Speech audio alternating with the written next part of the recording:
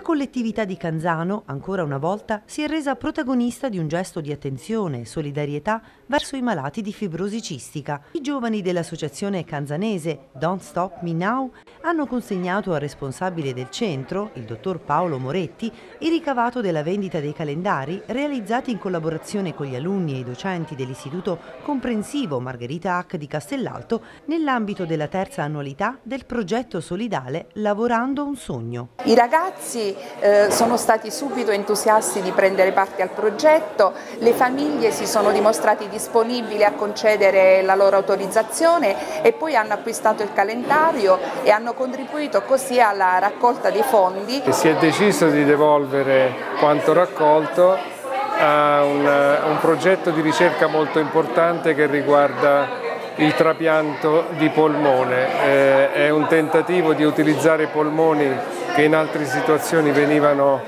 eh, non, non, utilizzati. Significa che eh, c'è un medico, un ricercatore eh, in Lombardia che ha messo in piedi un'apparecchiatura che è in grado di tenere in vita i polmoni per circa 24 ore, quindi permettendo di pulirli e quindi renderli disponibili per un trapianto, polmoni che altrimenti andrebbero persi. Ulteriore donazione al centro è stato lo spirometro, strumento indispensabile per misurare la funzionalità respiratoria dei piccoli pazienti. Anche in questo caso la sfida solidale è partita da Canzano.